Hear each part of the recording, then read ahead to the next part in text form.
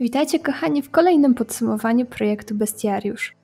Event Bewitched oraz Double Exp i Skill za nami, a więc można zacząć marnować staminę na wbijanie kolejnych potworów. O tym, co działo się przez ostatnie dwa tygodnie i jakie mam dalsze plany, już w tym materiale. Zapraszam do oglądania.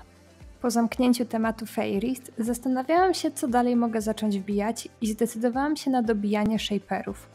Są to potwory, które znajdziecie za portalami w Thais – za dev portalem na poziomie minus 2, za portalem Holi na całym jego obszarze i za portalem prowadzącym na finał Thais. I tam właśnie zdecydowałam się zostać, gdyż jest to jedyne miejsce występowania Stone Rhino. Taktyk nabicia tego spota jest kilka i w zależności od tego jak się biega, w takiej kolejności potwory te wpadają do bestiariusza.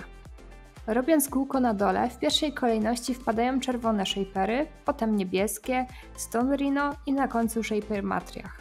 Natomiast robiąc kółko na górze, znacznie więcej jest tutaj niebieskich shaperów i dysproporcja jest o wiele większa niż w przypadku dołu.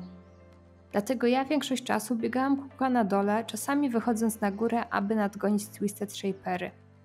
Wbicie obu tych potworów do bestiariusza zajęło mi jakieś 8 godzin, Następnie biegałam po całym obszarze, aby z SD-ków dobijać matriachy i co kółko zahaczać sobie o Stone Rhino. Także aby dobić matriachy, poświęciłam tam dodatkowe półtorej godziny, gdzie część czasu ubiłam je w duo z Ekiem. Pozdrawiam Robin. Na koniec pozostało mi dobijanie Stone Rhino na póławku.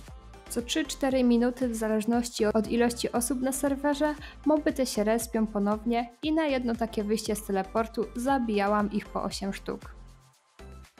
Oprócz tego w ramach zwiększonego expa wybraliśmy się z RP i MS-em na film Sivanor i dobiłam tym samym Frikisze do Bestiariusza.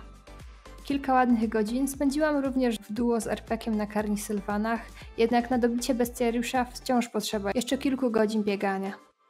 I tak oto przez te dwa tygodnie wpadło 175 charm pointów i tym samym znalazłam się na 26 miejscu w rankingu na Damorze.